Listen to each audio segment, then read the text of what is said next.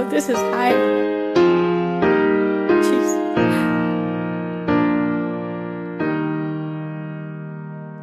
Oh, Canada, our home and native land.